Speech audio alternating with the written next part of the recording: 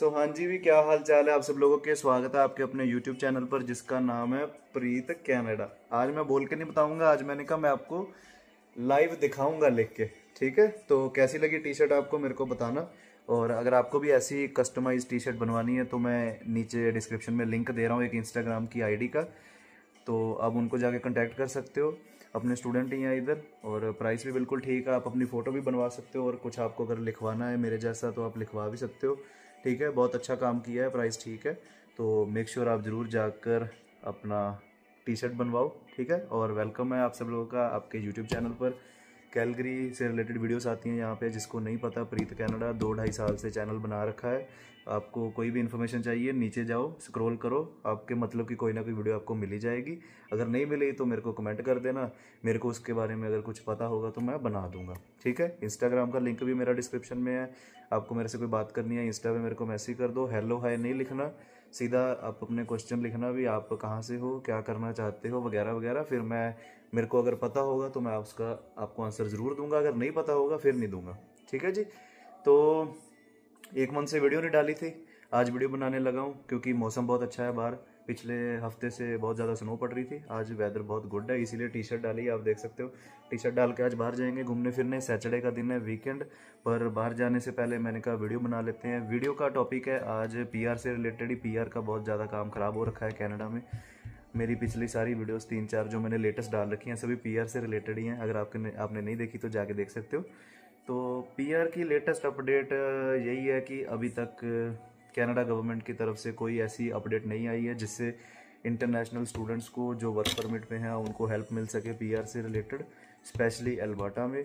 तो जिसको नहीं पता अल्बर्टा अपॉर्चुनिटी स्ट्रीम जो इंटरनेशनल स्टूडेंट्स के लिए थी, जिसमें स्टूडेंट छः महीने काम करके अपनी स्टडी से रिलेटेड जॉब में फ़ाइल लगाता था, वो उन्होंने टेम्परेरी बंद कर रखी थी। तो अब उसको बंद हुए ऑलमोस्ट दो महीने हो चुके हैं। फेबररी में बंद हुई थी अप्रैल चल रहा है।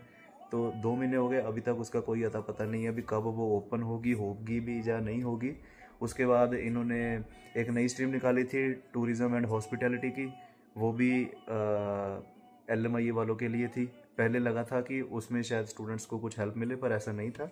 वो जो स्ट्रीम थी, उनके लिए थी, जो उन उन कोर्सेज उन उन जॉब्स में एल एम आई लेंगे। फिर वो जो स्ट्रीम ओपन हुई थी, वो ओपन होते ही एक दिन में बंद हो गई थी, ठीक है? तो उसमें भी अपनी बात नहीं बनेगी। अब मसला ये है कि पीआर होंगे तो होंगे कैसे? ये मेरे दिमाग में भी क्वेश्चन और आपके दिमाग में भी क्वेश्चन है। इसका आंसर देखो, ना तो मैं दे सकता हूँ, ना कोई और यूट्यूबर दे सकता है, ना कोई भी बंदा नहीं दे सकता। आप ऐसे लोगों की बातों में मत आया करो। लोग वीडियो बनाते हैं पैसों के लिए व्यू आने व्यू के लिए। अब अगर मान लो इस वीडियो पे एक लाख व्यू आ जाए ना तो मेरे को सौ से डेढ़ सौ डॉलर मिल जाएगा। तो मेरे को क्या बुरा लगता है? मैं थंबनेल में ऊपर लिख दूँगा ट्रूडो ने कर दिया सबको पक्का, सबको मिलेगी पीआर आप सब लोग वीडियो खोलोगे ना, वीडियो देखोगे ना, भी सब सच में पीआर मिल रही है या नहीं? तो यही यही चीज़ है। ऐसे बातों में मत आया करो। आपको कोई भी इसके बारे में नहीं बता सकता। ये सिर्फ़ कनाडा गवर्नमेंट ही बता सकती है, अभी आपको पीआर कब मिलेगी। बाकी मेरा जो गैस कहता है कि ऑलमोस्ट दो मिलियन बंदा अभी टेम्परेरी है कनाडा के अंदर तो इनको कुछ ना कुछ तो करना पड़ेगा आने वाले एक दो महीने के अंदर। जैसे लॉकडाउन के टाइम पे T R to P R आया था भी आपको कोई वर्क एक्सपीरियंस नहीं चाहिए। अगर आपने आयल्स कर रखी है, आपने स्टडी कर रखी है तो आप सीधी अपनी फ़ाइल लगा दो, आपकी पी आर आ जाएगी। तो जा तो T R to P R जैसा कुछ करना पड़ेगा इनको, इन सब लोगों को जो टेम्परेरी है पी आर करने के लिए, या फिर जो एल्बर्टा में अपॉर्चुनिटी स्ट्रीम बंद हो रखी है दो महीने से, उसको खोलना पड़ेगा। फिर उसमें आप अपनी फ़ाइल लगा सकते हो। अब आप अगर समझ लो वर्क परमिट पे हो, आपने जो कोर्स किया था, अगर उस कोर्स से रिलेटेड आपको जॉब मिल चुकी है और अगर आप जॉब कर रहे हो तो उस जॉब को कंटिन्यू रखो, क्योंकि कुछ नहीं पता किस दिन अपॉर्चुनिटी स्ट्रीम ओपन हो जाए। तो जैसे ही अपॉर्चुनिटी स्ट्रीम ओपन होती है, अगर आपके पास छः महीने का एक्सपीरियंस हो चुका होगा अपनी फ़ील्ड जॉब में, आप अपनी उसमें फ़ाइल लगा देना, आपकी पीएनपी आ जाएगी। लेकिन अगर आपको अभी फ़ील्ड जॉब नहीं मिली है तो जैसे मर्ज़ी करके कोशिश करो भी जब तक अपॉर्चुनिटी स्ट्रीम ओपन नहीं होती भी आप अपनी फ़ील्ड जॉब ढूंढ के रखो। जैसे ही ओपन होगी, फिर छः महीने वर्क एक्सपीरियंस करके उसमें फ़ाइल लगा देना। एक तो ये है एल्बर्टा में। दूसरा है एल एम आई आपको एल एम आई लेनी पड़ेगी। फिर उसके अंदर काम करके आपकी पीआर होगी। छः महीने या एक साल पर। एल एम आई ए के भी रूल्स चेंज हो रखे हैं। पिछले कुछ दिनों पहले अपडेट्स आई थी। मेरे को कुछ खास नॉलेज नहीं है। बस इतना था भी एल एम आई पहले एटीन मंथ्स की मिलती थी। अब पता नहीं छः महीने की कर दी है। फिर एल एम आई ए से रिलेटेड एम्प्लॉयर की भी चेंज कर रखी है इन्होंने। जैसे, जिससे आप एल एम आई ए लोगे, उसका बिज़नेस दो साल पुराना होना चाहिए। उसका एक साल का जो ग्रॉस होना चाहिए, जो उसकी कमाई होनी चाहिए, चार लाख डॉलर होनी चाहिए, फिर ही आपकी जॉब ऑफ़र वैलिड होगी। तो ऐसे ऐसे रूल्स काफ़ी चेंज हो चुके हैं चुके हैं। इंटरनेशनल स्टूडेंट्स के साथ भी चेंज हो गए एल एम आई ए वालों के लिए भी चेंज हो गए।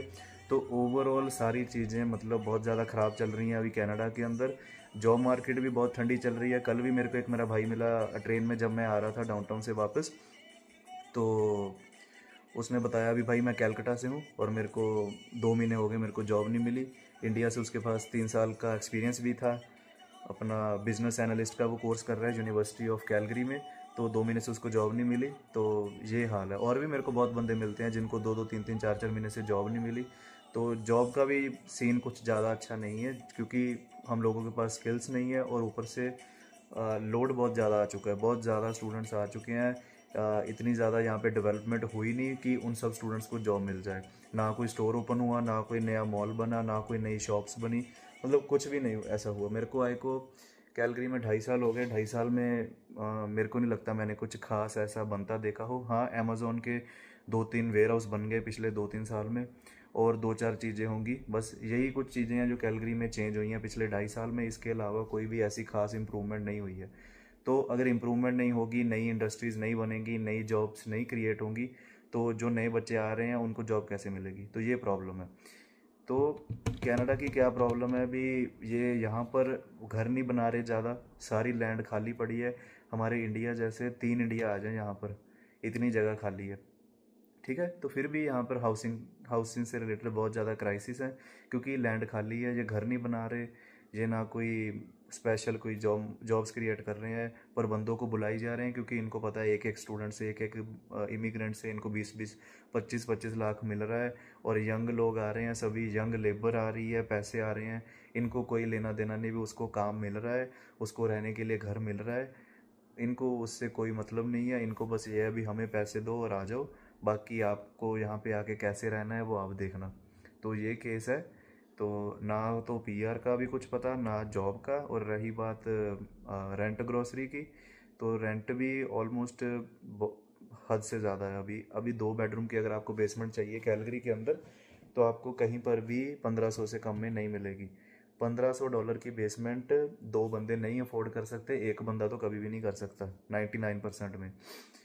तो पंद्रह सौ की बेसमेंट अगर आप ले रहे हो दो बेडरूम की, आपको चार बंदों को लेनी पड़ेगी। दो बंदे एक रूम में रहेंगे, दो एक रूम में रहेंगे शेयरिंग में तो जाके आपको पंद्रह सौ की बेसमेंट जो मिल, ठीक लगेगी। तभी एक बंदे को तीन सौ, चार सौ आएगा।